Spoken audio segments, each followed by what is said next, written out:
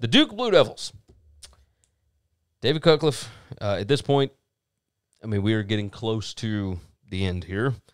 Two and nine last year, five and seven the year before that. Uh, he has still won more than any other coach at Duke, and that's a big time thing.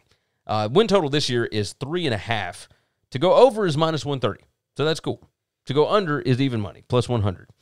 Um, and I look at the schedule, like SP Plus has got them three and nine, FPI's got them four and eight.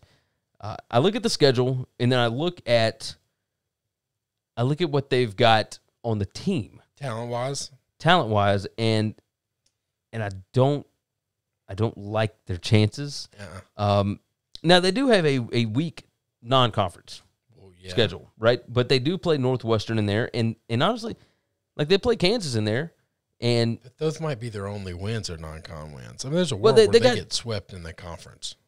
I think I think they could get yeah I think I think they could get swept in the ACC. They would have to beat Charlotte, NC A and T, Northwestern, Kansas. and Kansas. They're not beating Northwestern. I don't think they're beating Northwestern No, either. they're not beating Northwestern. This Northwestern team's going to be tough. and that's that's what I'm thinking, right? I think the Northwestern beats them. I think I think there's a chance like the Kansas game could be a coin flip. I think they can beat Charlotte and NC, A and T, but I mean, I, think the back end of the schedule where you would normally catch like a team that's just had a bad season and Yep. and they don't feel like playing anymore. Like you close with Pitt at Vatech, Louisville, and Miami. Like I don't think they're beating any of those teams. So. I, I'm going under. I'm, I'm taking the even money. I'm taking the plus 100. Yeah, I'm with you. That's, So- we, we agree there. I hate it for Cutcliffe. Like their defensive line was a, a strong part for them, and they got destroyed by attrition, man. So that ain't good. Ain't good.